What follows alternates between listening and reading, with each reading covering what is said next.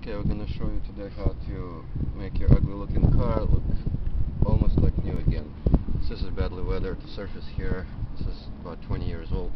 You're gonna need a clay bar. You're gonna need soapy water, half a bottle of water, a tablespoon of dishwashing soap. You're gonna need polishing compound. You're gonna need wax. You're gonna need a polishing uh, bottle like this, uh, deep crystal system. You need a couple of rugs and a buffer. The first thing you need to do is, of course, wash the car, and the second part is to spray some soapy water and rub off until it feels smooth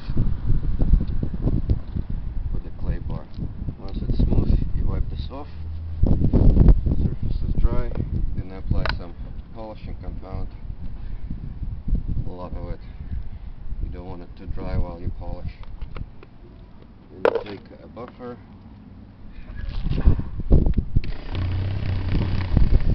And you polish lightly.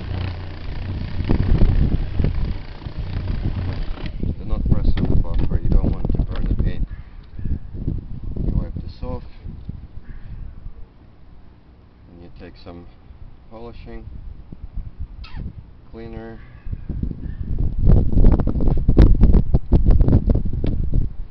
And polish this by hand. This of course removes some of the paint.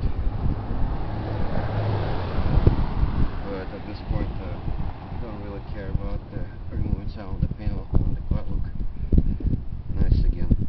So it's all buffed up. Nice and shiny, all the oxidation is gone. You take some wax. Apply wax. And now you have to wait until it gets dry. Over here we have it all dry already.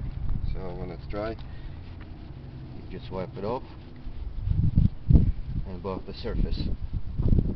And the paint looks like new again.